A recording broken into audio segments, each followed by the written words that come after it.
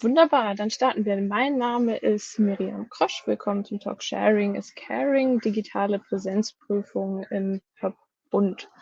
Ich bin wissenschaftliche Mitarbeiterin in der E-Assessment Alliance der Universitäten, wie sie hier auch schön mit Logo aufgeführt sind, ähm, gemeinsam im Verbund digitales Prüfen voranbringen. Äh, mit meinem Talk oder mit diesem kurzen Einblick äh, möchte ich zum einen ein bisschen, wie gesagt, einen Einblick geben in unsere gemeinsamen Bemühungen, Kooperationsprüfungen durchzuführen, beziehungsweise uns gegenseitig unsere Ressourcen zur Verfügung zu stellen und Ihnen auch einfach mal ein, äh, ein bisschen zeigen, wie wir äh, als Universitäten einzeln oder auch gemeinsam digitale Präsenzprüfungen durchführen. Dazu habe ich Folgendes mit Ihnen vor. Zum einen möchte ich natürlich kurz von der Problemstellung oder sage ich mal von den infrastrukturellen Herausforderungen, von der wir gerade stehen, ähm, berichten. Weiter geht es dann um mit den Konzepten der E-Assessment Alliance, und auch unseren Zielen und Herausforderungen, wobei ich gerade feststelle, dass das von der Reihenfolge nicht ganz so passt, aber das wird schon jetzt hinhauen.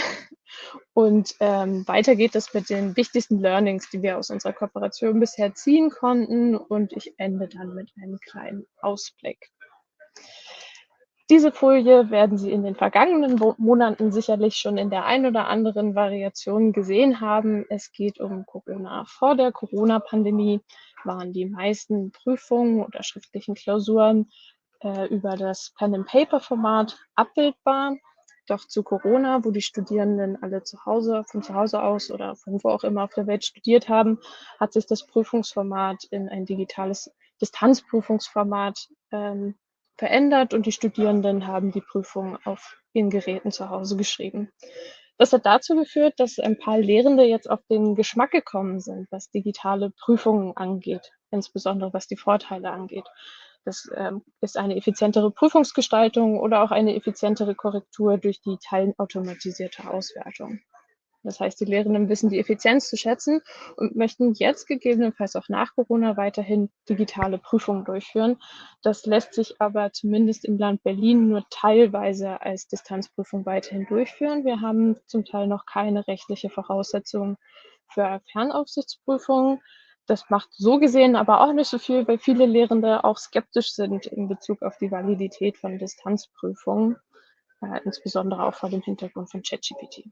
Das bedeutet, dass die Lehrenden jetzt in Präsenz gerne ihre Prüfung durchführen möchten äh, und wir uns konfrontiert sehen mit, sage ich mal, einer gestiegenen an, äh, Anfrage an, an digitaler Infrastruktur für Präsenzprüfungen. Wie können wir darauf jetzt also schnell reagieren, um die Vorteile von digitalen Prüfungen bestehen zu lassen, nämlich die Effizienzgewinne für die Lehre ähm, und gleichzeitig ein attraktives Angebot zu schaffen.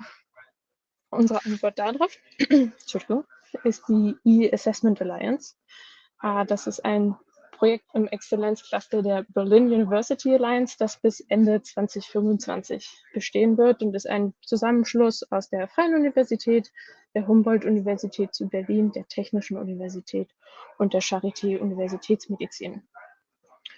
Das Ziel des Projektes ist insbesondere die Weiterentwicklung, Etablierung und Standardisierung digitalen Prüfungs an den einzelnen äh, beteiligten Universitäten, aber halt auch im Verbund. Wie gehen wir also dieses infrastrukturelle Problem an, der gestiegenen Nachfrage und begrenzten Infrastruktur, die wir jeweils in den Häusern zur Verfügung haben? Sharing is caring. Das ist unser etwas Punny-Titel für ähm, ein Konzept, in dem wir uns gleichzeitig unsere Ressourcen zur Verfügung stellen. Unsere Ziele sind also die Poolung von Raumressourcen zur schnellen und auch kosteneffizienten Schaffung von Infrastruktur, denn Universitäten sind eins und das wissen wir doch relativ langsam in der Umsetzung von neuen Projekten oder auch neuer IT-Infrastruktur.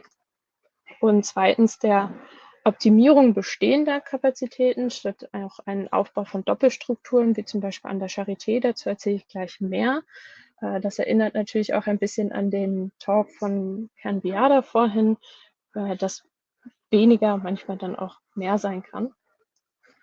Und dass wir natürlich ein attraktives Angebot für Lehrende und Studierende schaffen wollen, wo Lehrende möglichst viel Zeit in die Vorbereitung der Lehre und Prüfung stecken können, ohne zum Beispiel doppelte Prüfungsversionen oder ähnliches erstellen zu müssen.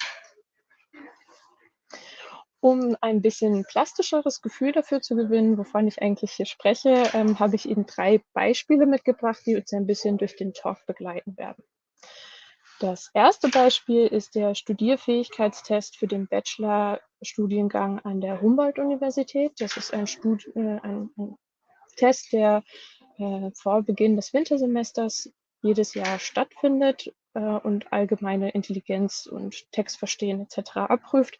Das heißt, es werden alle StudienbewerberInnen aus ganz Deutschland zu diesem Te Test geladen. Es erscheinen hier circa 600 erwartete TeilnehmerInnen. Ein anderes Beispiel kommt aus dem Lehramtsstudium an der FU Berlin. Genauso wie an den anderen Universitäten in Berlin studieren sehr viele Menschen mit Lehramtsoptionen an der FU. Circa 1200 Studierende beginnen pro Jahr ihr Lehramtsstudium an der FU. Hier hatten wir letztes Jahr, letztes Semester, eine Prüfung mit ungefähr 700 TeilnehmerInnen zum Thema Lernförderung und Lernmotivation. Das dritte Beispiel, äh, mit dem wir uns konfrontiert sehen und in dem ich ein bisschen die Chancen und Herausforderungen von digitalen Präsenzprüfungen im Verbund beschreiben möchte, sind die ukrainischen Zulassungsprüfungen für den Bachelor und für den Master. Seit dem russischen Angriffskrieg auf die Ukraine werden diese Tests nicht mehr zentral in der Ukraine durchgeführt, jedes Jahr. Sie sind ungefähr vergleichbar wie unsere Abiturprüfung, sondern dezentral gleichzeitig in 26 unterschiedlichen Ländern, darunter auch Deutschland. Diese Tests finden äh, einmal jährlich, wie auch dieses Jahr wieder, äh, im Juni und Juli statt, das heißt in der Vorlesungszeit und in der vorlesungsfreien Zeit und es werden circa 1200 Teilnehmerinnen erwartet. Wie würde das jetzt aussehen, wenn die jeweilige Uni ähm, dieses Konzept oder diese Anfrage alleine stemmen würde? Dafür möchte ich ganz kurz und knapp, aber wenigstens mit Bildern unterlegt, ein bisschen die Konzepte der einzelnen Universitäten beschreiben. So, hier sehen Sie den Prüfungsraum der Humboldt-Universität mit ungefähr 100 Sitzplätzen. Hier werden seit 2022 digitale Präsenzprüfungen angeboten. Das ist ein teiloffener PC-Pool-Raum. Das heißt, es gibt zum Teil Lehrveranstaltungen in diesem Raum. Zum Teil ist dieser Raum aber auch als PC-Pool für die Studierenden frei verfügbar. Die Freie Universität Berlin verfügt über ein bisschen anderes Konzept. Sie ähm, können seit 2013 auf Erfahrungen in digitalen Präsenzprüfungen zurückgreifen. Hier sehen Sie abgebildet die beiden E-Examination Center mit insgesamt ca. 340 Sitzplätzen. Und das sind allerdings wirklich dedizierte Prüfungsräume. Das heißt, diese Prüfungs- diese Räume werden in der Regel für nichts anderes benutzt, außer Hochschulprüfungen. Die Technische Universität wiederum verfolgt nochmal ein ganz anderes Konzept. Ich schaue mal kurz auf die Uhr, wunderbar. Der verfolgt wiederum ein ganz anderes Konzept. Sie haben eher ein Mischkonzept. Zum einen auf der linken Seite abgebildet haben Sie Laptops, die Sie zu Beginn einer jeden Prüfung ausgeben und nach Ende einer Prüfung wieder einsammeln. Äh, darüber hinaus gibt es an der TU aber auch offene PC-Pools auf der rechten Seite abgebildet im Mathematikgebäude, die Studierenden jederzeit zur Verfügung stehen und während der vorlesungsfreien Zeit für Lehrveranstaltungen und Prüfungen genutzt werden. Die Charité Universitätsmedizin hatte ich ja vorhin schon einmal kurz erwähnt, dass die darauf äh, aktuell vermeidet, Doppelstrukturen aufzubauen, hat selbst noch kein eigenes Konzept. Hier finden seit 2022 Präsenzprüfungen statt, allerdings in den Räumen von der HU, FU und TU, da die Charité Universitätsmedizin, da fehlt ein T, sehe ich gerade bei Universitätsmedizin, ähm, noch keine eigenen Kapazitäten aufgebaut hat und auch erst seit Beginn von Corona mit digitalen Prüfungen begonnen hat. Das heißt, Sie können jetzt aktuell unsere Kapazitäten nutzen, um eigene aufzubauen und herauszufinden, was die Bedarfe sind in der medizinischen und gesundheitswissenschaftlichen Studiengängen. Wenn wir jetzt hier wieder die Beispiele heranziehen, was würde das also bedeuten, wenn diese durchgeführt werden würden in den eigenen Häusern? Äh, der Studierfähigkeitstest der Psychologie würde drei volle Tage beanspruchen, wenn wir sagen, dass wir zwei Slots am Tag durchführen. Die Prüfung dauert drei Stunden, einmal morgens und einmal nachmittags. Das ist natürlich für ähm, eine Prüfung, wo BewerberInnen aus ganz Deutschland anreisen, ein äh, massiver administrativer Overhead. Für die Prüfung des Lehramts würde man die Prüfung zwar mit zwei Durchgängen, sage ich mal, wuppen können, aber die Lehrenden würden natürlich einen massiven Vorteil von digitalen Prüfungen verlieren, nämlich ähm, dass die Prüfungserstellung doch zum Glück etwas schneller geht, weil sie zwei Prüfungsversionen erstellen müssen. Also wenn die Studierenden des ersten Durchgangs den Raum verlassen, können sie natürlich mit Studierenden sprechen, die dann in den Prüfungsraum gerade betreten. Ähm, was natürlich dann doch mal einen großen Aufwand für die Lehrenden bedeutet, insbesondere bei einer Lehrveranstaltung von über 700 TeilnehmerInnen. Das heißt, dort ist der Betreuungsaufwand an und für sich schon relativ hoch. Das, zweite, das dritte Beispiel sind die ukrainischen Zulassungsprüfungen. Nicht nur, dass hier sehr viele TeilnehmerInnen allgemein erwartet werden, sondern man kann auch einfach nur wenig Termine zur Verfügung stellen. Entweder hat man wie die FU vor Beginn der Prüfungszeit relativ viele Raumkapazitäten, aber dann gar keine Prüfungskapazitäten, wenn es in die Prüfungszeit geht, oder man hat für die HU und TU Prüf äh, Raumkapazitäten ähm, in der Prüfungsphase, aber halt eben nicht vorher, weil die Räume entweder als Poolräume genutzt werden oder für Lehrveranstaltungen zur Verfügung stehen müssen.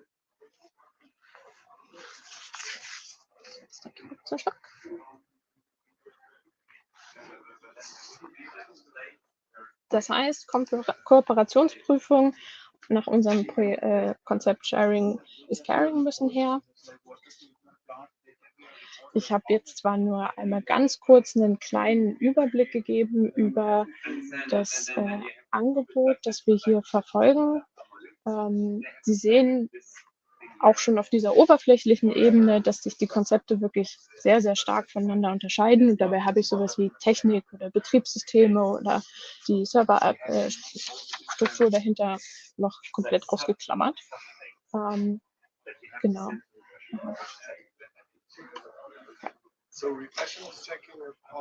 Das andere, das deutlich wird, das andere habe ich jetzt halt ein bisschen vorgegriffen, ist, dass die gemeinsamen Kapazitäten, wenn wir unsere Ressourcen poolen, hier bei ungefähr mehr als 800 Prüfungsplätzen liegen. Das ist natürlich eine ganz, ganz schöne Hausnummer, so dass wenn wir unsere Raumressourcen dort teilen, ähm, doch sehr viele große äh, Prüfungen abdecken können und ein gutes Angebot für Lehrende und Studierende geben können.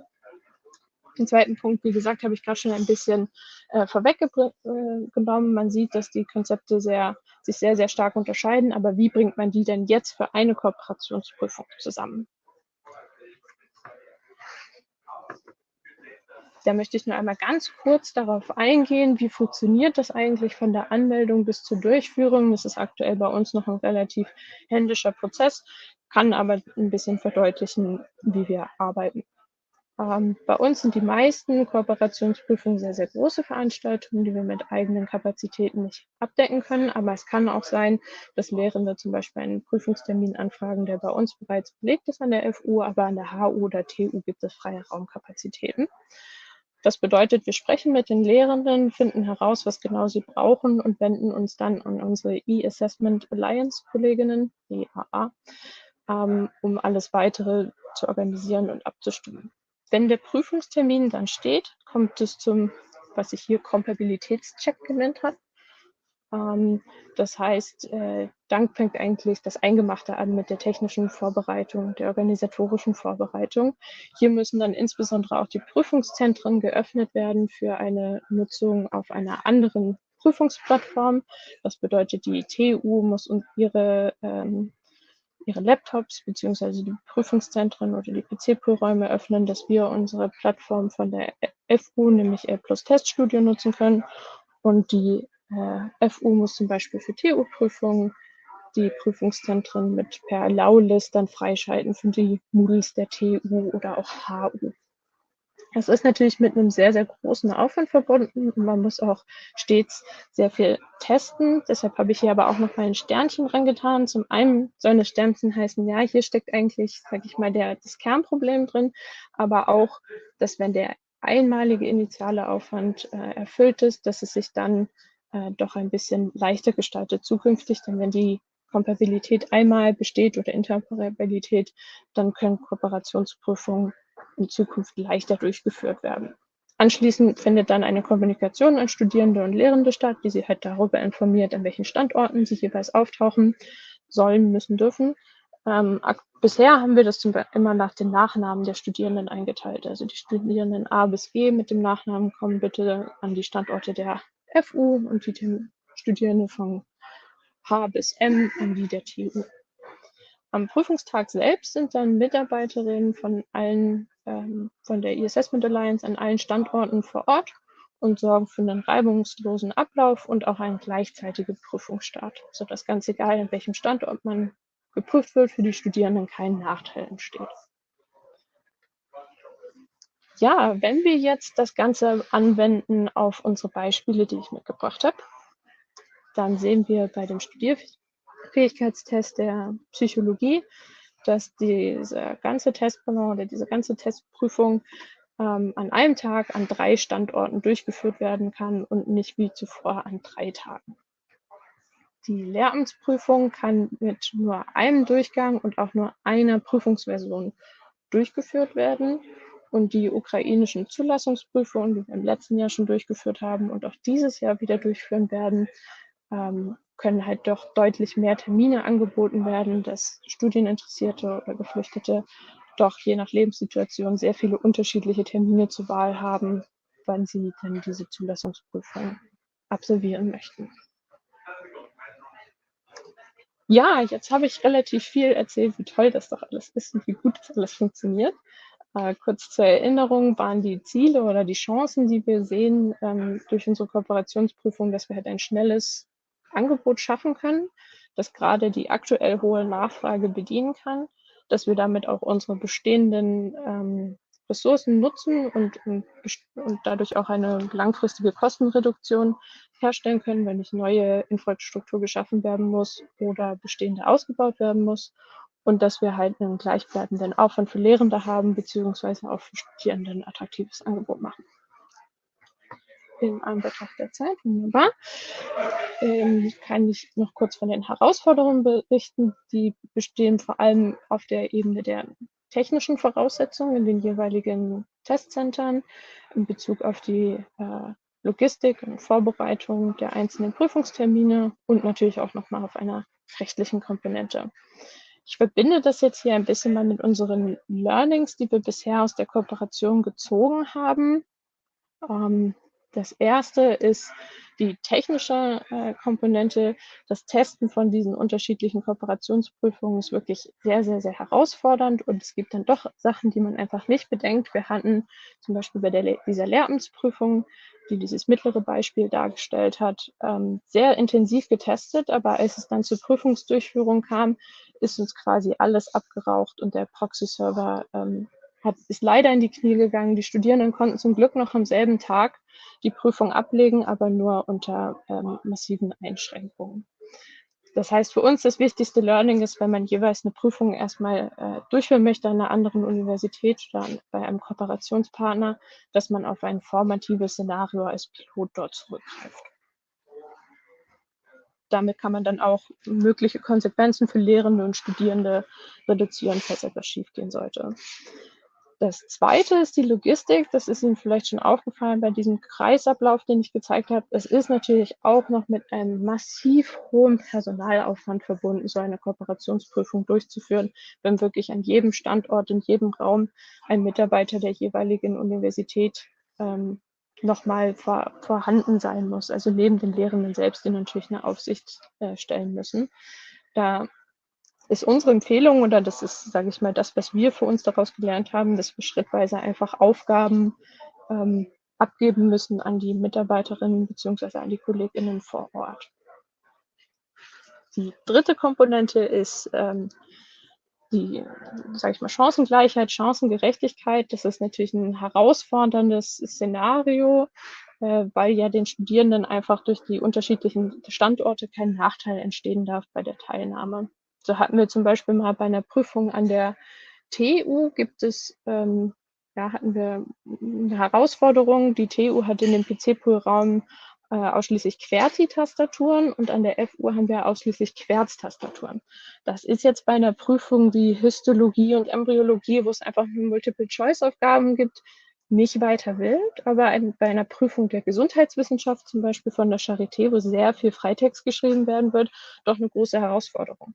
Das hat dann dazu geführt, dass wir von der FU einfach mit 60, 70 Tastaturen angereist sind und allen Studierenden zu Beginn der Prüfung eine Tastatur in die Hand gedrückt haben und gesagt haben, doch bitte diese zu nutzen. Also das heißt, man muss dann je nach Szenario ähm, ein, ein recht, eine rechtliche Vergleich, eine rechtlich vergleichbare Prüfungsbedingung schaffen.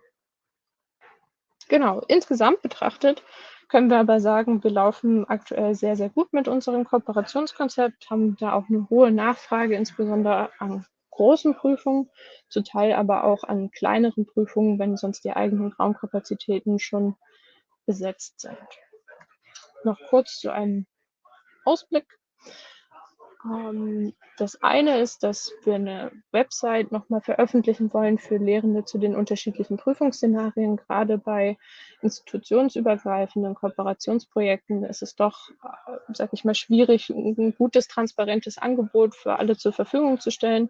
Das ist, sage ich mal, so der, der nächste Schritt. Aber das, sage ich mal, viel interessantere ist ein gemeinsames Buchungssystem, das wir schaffen wollen, wo Lehrende direkt Prüfungen anfragen können und unabhängig von ihrer Universitätszugehörigkeit ähm, dann vielleicht auch auf andere Raumressourcen verteilt werden könnten, sodass dann zum Beispiel Prüfungen auch ausschließlich an der TU stattfinden, wenn dort freie Kapazitäten sind im Gegensatz zur FU. Ja, das war's von meiner Seite. Vielen, vielen Dank für die Aufmerksamkeit. Wenn Sie mich erreichen wollen, sehen Sie dort meine E-Mail-Adresse miriam.kosch.fu-berlin.de oder wenn Sie allgemeine Fragen haben an das Projekt der E-Assessment Alliance, können Sie auch, uns auch sehr gerne kontaktieren. e-assessment at berlin-university-alliance.de. Ja, vielen Dank.